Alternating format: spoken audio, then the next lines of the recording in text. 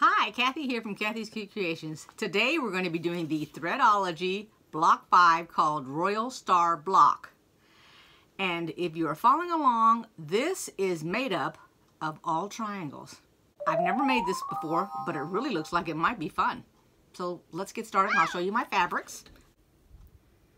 Now, as everybody knows that does triangles, you start out with a square first. So here's all my squares. Got them all marked.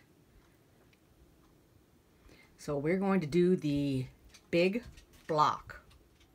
Alrighty, so the very first thing that it says to do is we're going to take our block A and we're going to cut them because we want to make four out of each of these.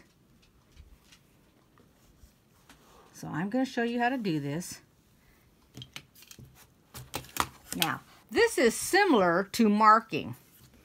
Let me see if I can get this a little bit closer for now, you. Now, if you feel more comfortable, by all means, go ahead and mark your fabric from this corner to this corner and that corner to that corner before you cut it.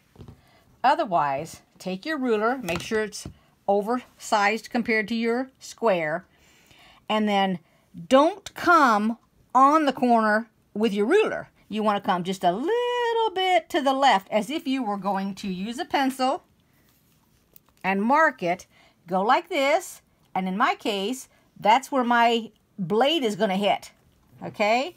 Go all the way down here, and that's where my blade is going to hit. So I know that my blade is going to hit right on the ends, each end. So we're going to do that first.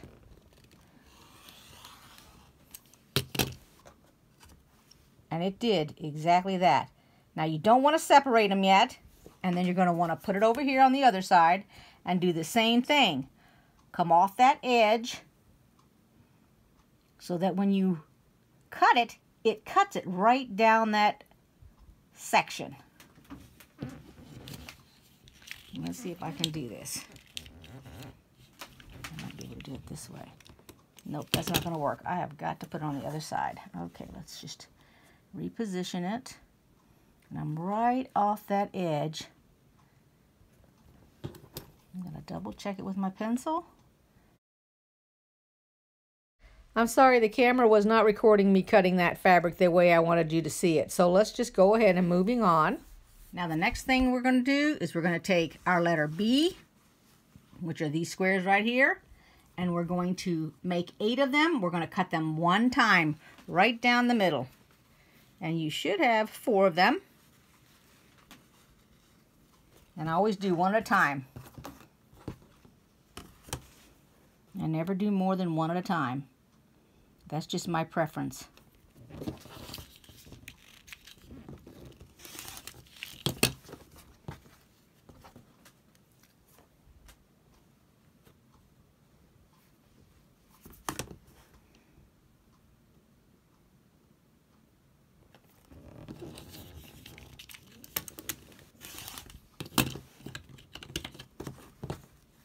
Now the directions say that we're going to take D and we're going to cut it along the diagonal just like we did. So you have two, you're going to end up with eight of them. I just thought of something here. I'm going to use this like a rotating mat. That'll work. Okay. Let's see what my other color is go with this so it's not blending in so. And take your time.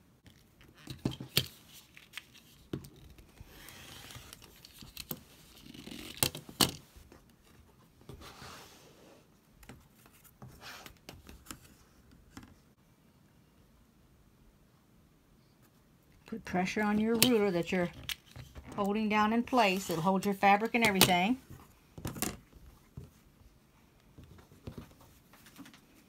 And now they're saying to take an A and a D and attaching it to a B.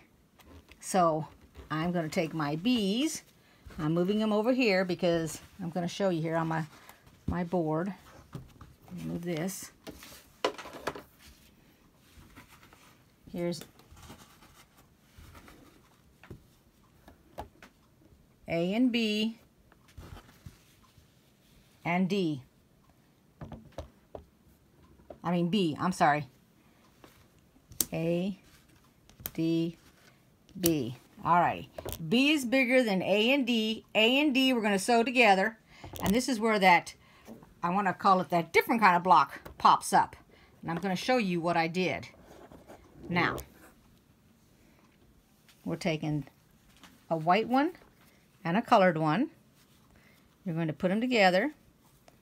And this is where you determine what goes where. Now, if you, this is, you're going to pay attention to your stitching. And the reason I know this is I've already done all the little squares, which I will show you when I'm finished. Have the colored fabric on the top and always have it on the top when you sew it. If you need a pin, put a pin in. We're going to sew it from the top to the bottom down here. And we're going to do every one of these. So I'm going to line them up on the sewing machine. This is how I have them all lined up, ready to go, because I'm going to go ahead and chain stitch one right after the other. And I have a, whoops, I have a twisted threads what I have. Let me fix that real quick. So I'm using a size 12 needle, universal, white thread, my regular foot.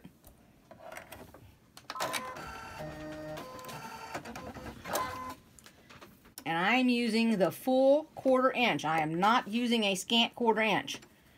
She always has everything oversized so that we will actually have to square it up. The um, When we get done making this block, which contains three triangles, we will square that up and I will show you how I square it up my ruler.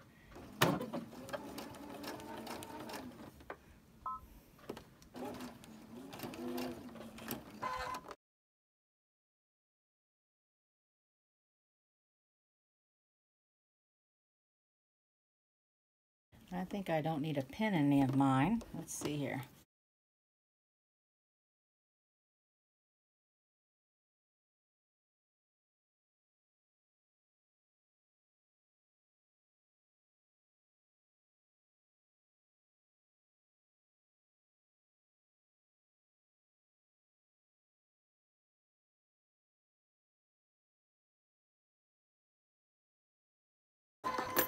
Now cut them all apart and iron them open. Now I've ironed all these open and I split them instead of putting them to the right or the left.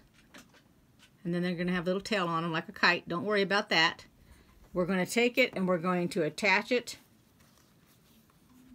to the half square triangles that we cut.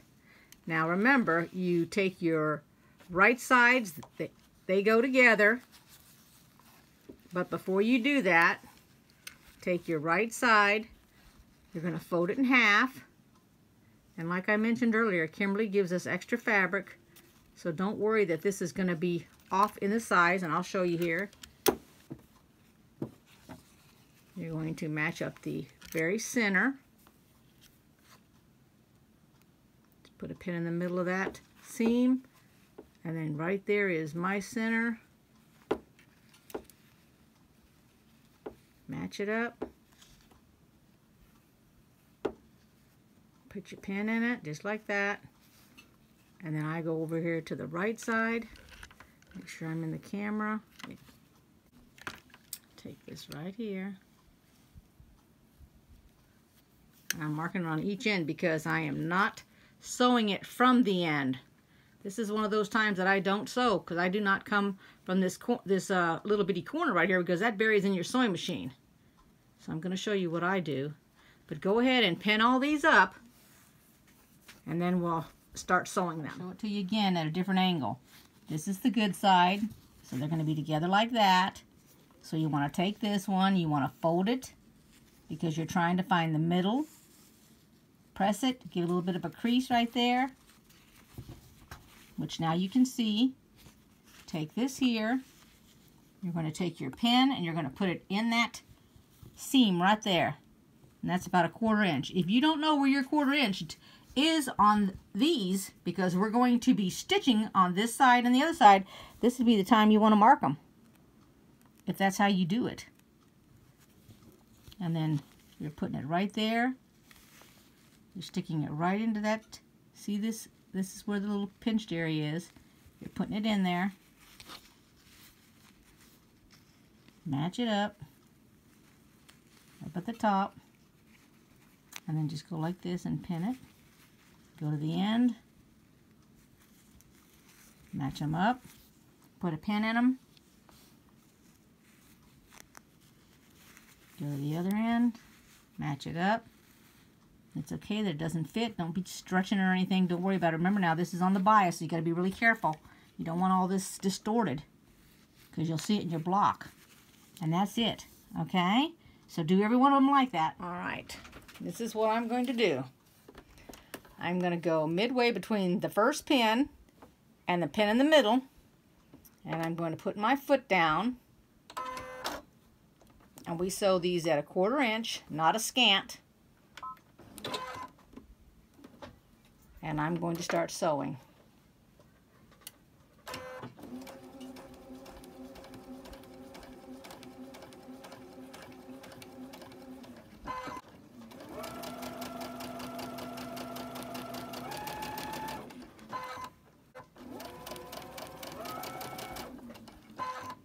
Take it off. I'm going to take this pin and I'm going to pin it on the back side I'm flipping it over. And now I'm going to go on the ab above the part that, in other words, my stitch stopped right here. I'm going to go up a little bit, so I'm above my stitch. And I'm going to go over my stitch and I'm going to come on through the bottom down here.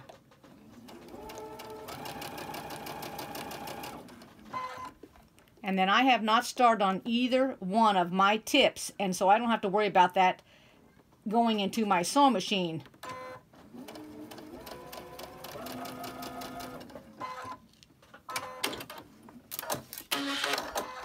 And then there you have it. Even though it's stitched, as you can see, I started, I'm like, the top stitch is the second stitch I did, and I just came right over and then just kept on going. This way, it doesn't come apart right there. Now this block is going to be decreased in size. Okay, so we're going to do them all like that. So go ahead, I'll show you another one. You're going to start between the first pin. Well, if you didn't put a pin, you're just starting in the middle of that before your center. Don't need to lock it into place. No need to since you're going to go over it anyway when you flip it.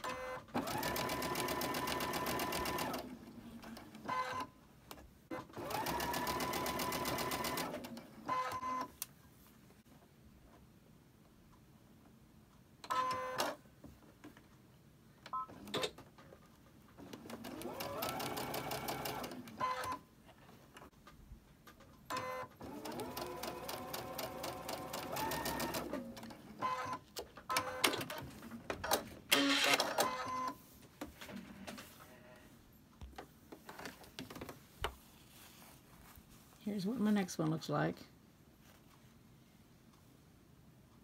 see if I can get it to focus. There we go, like that. See?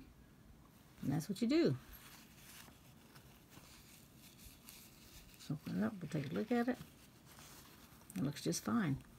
And it's right in the middle of that. That's what you want. You want this in the middle. You've attached these two to that.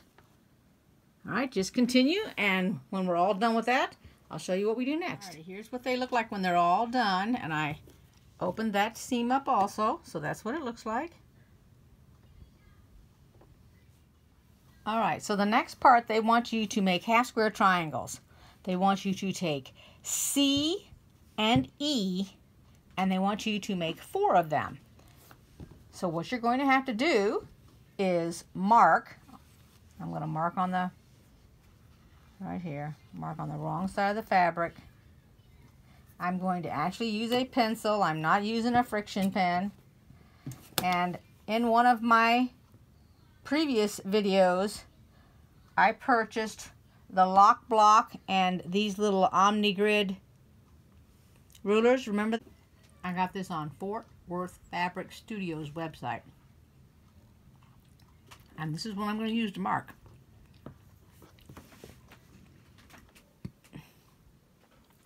It has a line down the middle on this ruler and each side from the line, so to the right is a quarter inch, to the left is a quarter inch.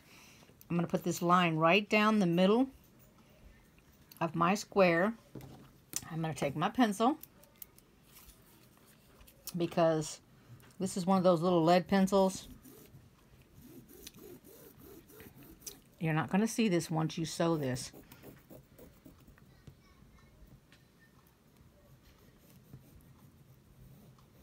I'll show it to you here in a second.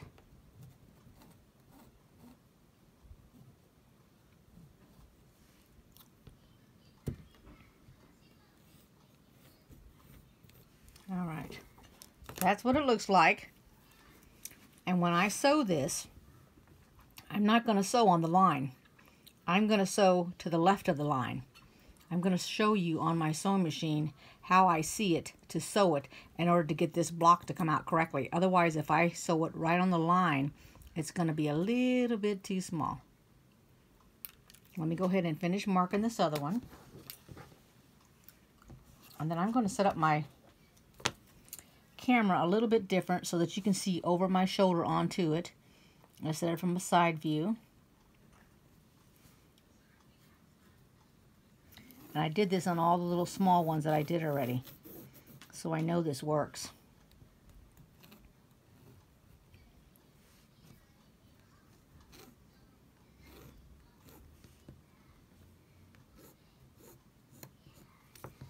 Alrighty.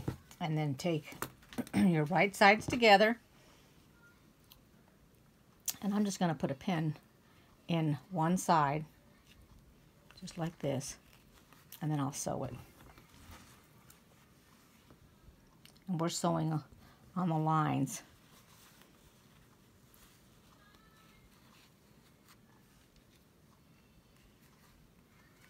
All right, let me get my camera set up. Now, I do not know if you can see on my foot, there's a little spot right here in the middle where the needle's at.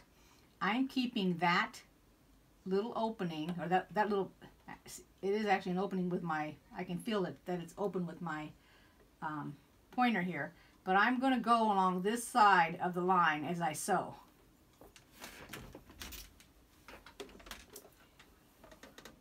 And you just go real nice and easy. You can pin your fabric more than the one time that I did if you'd like.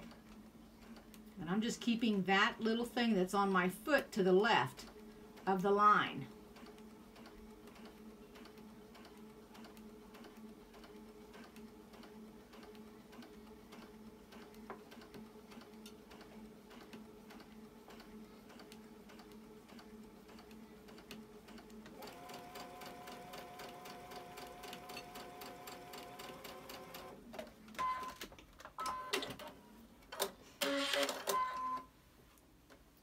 See how I went all on the left of that line.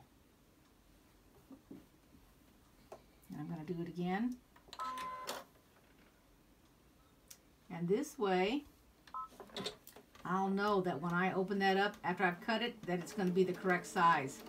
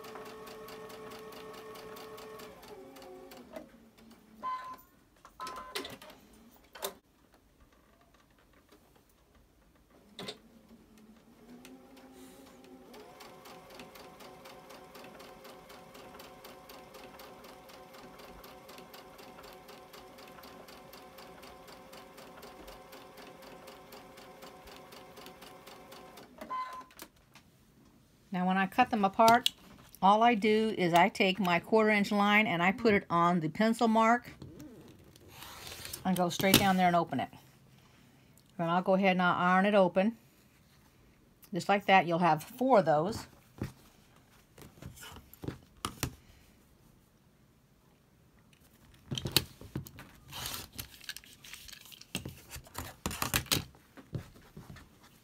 we're going to take off these little rabbit ears. That's what I call them. And this block is the correct size, by the way.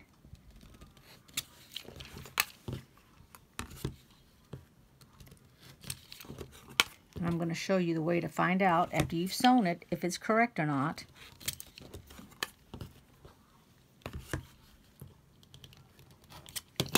Okay, so the four that we only cut, and that was it, you should be able to put that on top, and that should match like that, because that is the size. Okay? That's the same size as these four little blocks that we cut and didn't do anything to, because those are our corner units. So all I'm going to do is take the little wings off,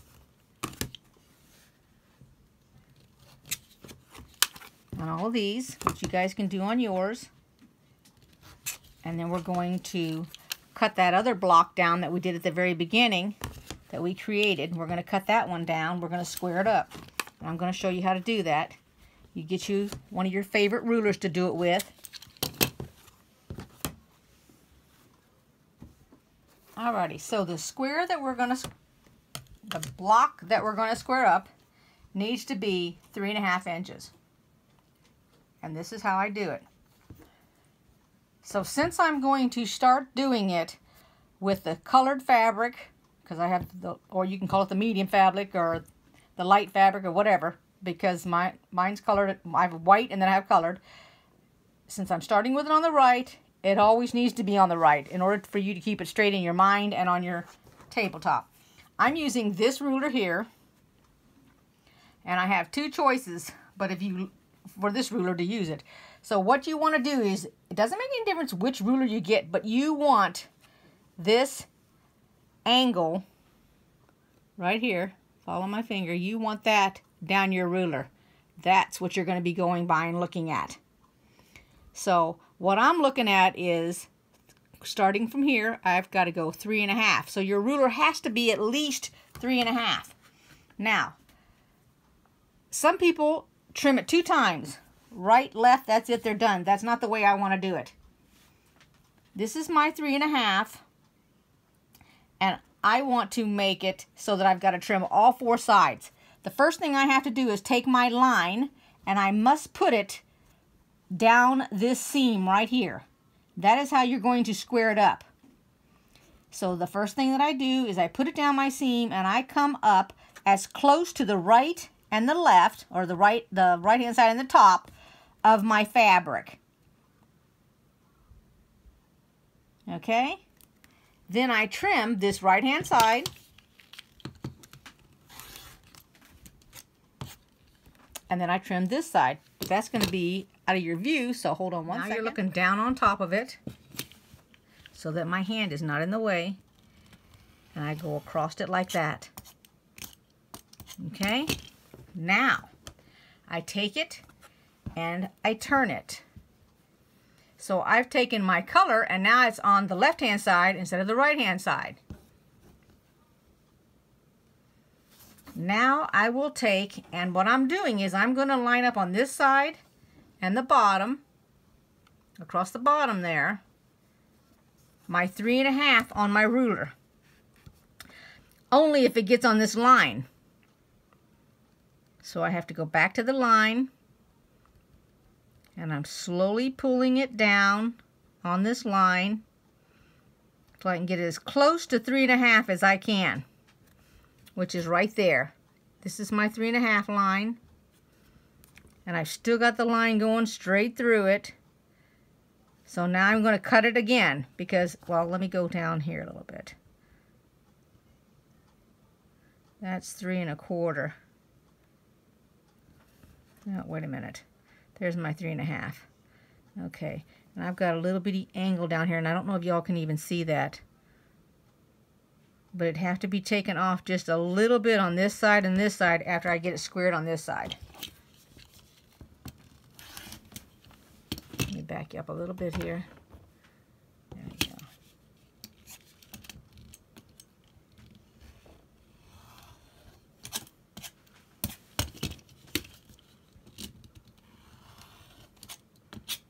Put pressure on this so that it does not move. We're going to turn it this way and I'm going to look at it. Because as long as I got this seam, I'm good. And actually, I can come down on the three and a half there and the three and a half there. And what I'm trying to do is I'm trying to make sure that the fabric is actually on top of that orange line. So I have three and a half, because that's what this is right here. And this is three and a half right here. And then I've just got a little bit to take off. And I mean a, a small amount. You can see that little bit sticking out there. And same with the top. You can hear it. I don't know if you can see it. There we go.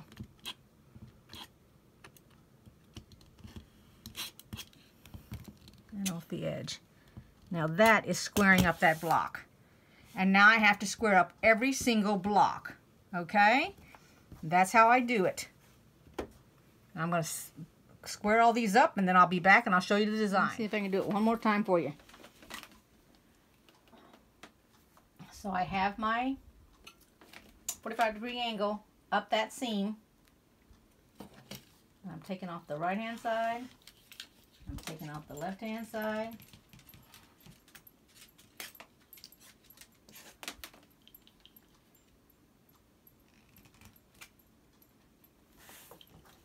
Let me just take that off because I can't seem to get enough pressure on that thing. There we go. Then I turn it this way. Let me make sure you're still in the camera here.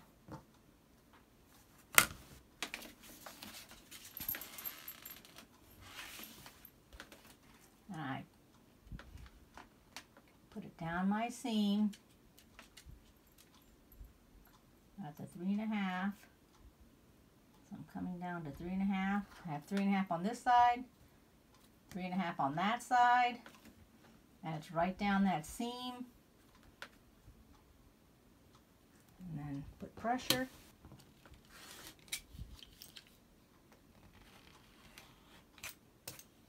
And there you go. Done. When you lay it out, it's going to look like this. You put a square on every corner you make sure that these things are pointing out. Those two are pointing to the left, these two are pointing down, those two are up, and these two are to the, I mean, those are to the right, excuse me. I don't know, my left and my right. And those two are from the left. And then the four in the middle, they make a square, which almost looks like a square and a square. All right, and then you're going to sew the top row, the next row, the next row. And, but what I actually do is I sew these two middle ones, these two middle ones, those two, and those two. Then when I have all of those sewn together, I just sew the left onto that, the left onto that, the left on like that. So you do it any order you want, okay? And then when you're done, we sew all the rows together. So when I get each row, then I will show you. I'll come back and show you the four rows laid out. Now see, this is how I have them sewn. I have these two sewn together these sewn together so I could take a look at them to make sure they all looked good. Now I'm going to sew this one to this. And it's just your plain straight seam so you guys know how to do all this. That's all I'm doing is just going to sew all these and then I'll come back and I'll show you how I pin each row. Okay, so there it is laid out before it actually gets the rows attached. Now I'm going to show you how to pin the rows because this is very important that you get all these intersections correct. Okay, so the very first thing you want to do is you want to go to the middle here. And you're trying to make sure that when you sew, it goes across this here and not down in here. So I usually put a pin in this one and a pin right in the tip of that one.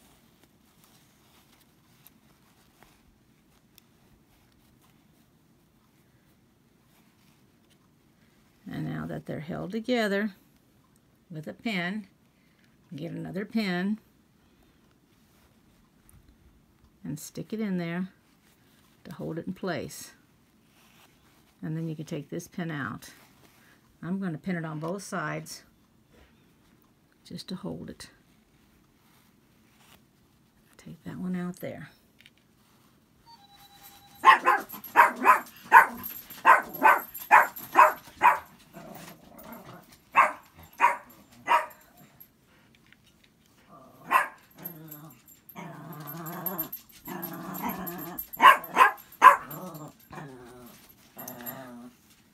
She's telling me that the telephone made a noise. I know. Thank you for telling me. Mm-hmm. Thank you. That's a good girl. And then we're going to go down to this end here.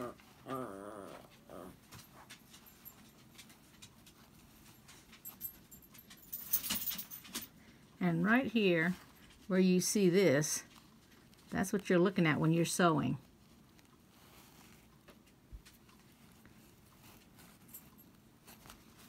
And then down here at the end, make sure your seam stays open. And what you're pinning is this piece right here so that it doesn't fold over on you when you're sewing. And that's it for that. And then this is one row and I go ahead and I pin both rows. Do it the same way. Go in the middle. And this time, the part you're looking at is right here. This is what you're looking at to sew.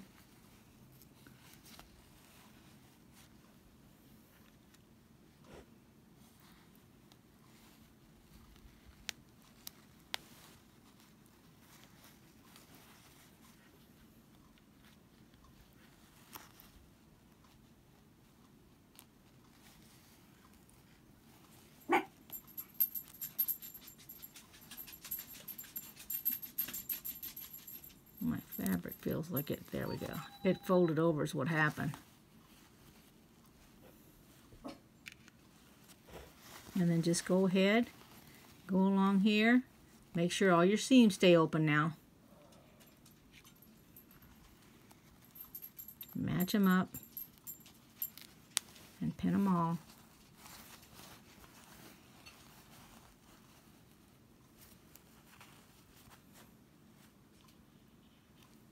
And then you're going to take your time when you sew this.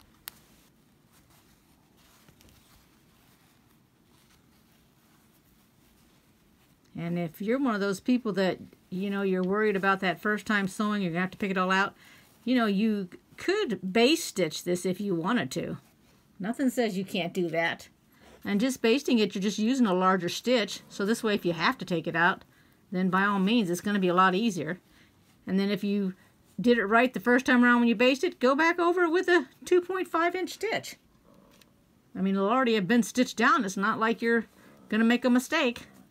All right, so let me get these two sewn.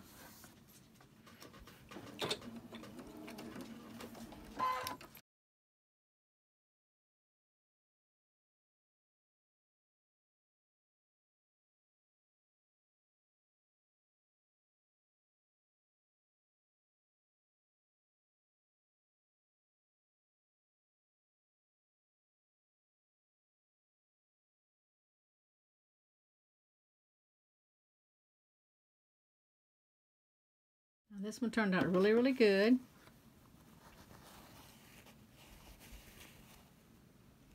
Now I'm going to do the other one.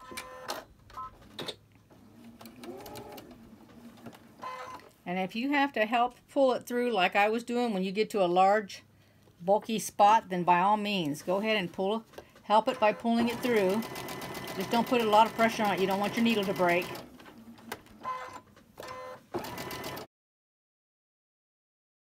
Here's where that bulky intersection comes in. Where all these pieces are laid down and sewn on top of each other.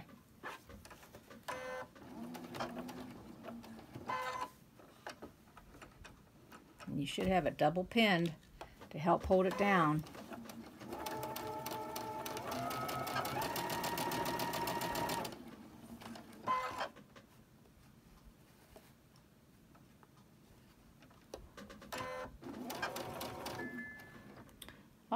I'm almost out of bobbin thread. I wonder if I can make it. Mm, oh, I'm going to chance it. See how many times it's going to tell me that. Okay.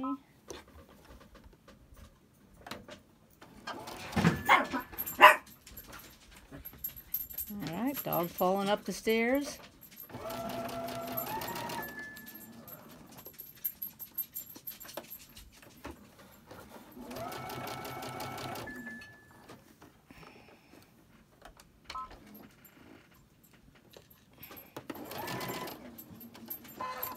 let's take a look at that intersection there. Yep, looks good. Didn't take any of my points off. I think I can live with it. Okay, there they are, all completed and done. I hope you enjoyed this video. Give it a thumbs up if you did. I hope you learned something. But I hope everybody had a good time and had fun making it. And I'll see you all next time. Bye-bye. Thanks for watching.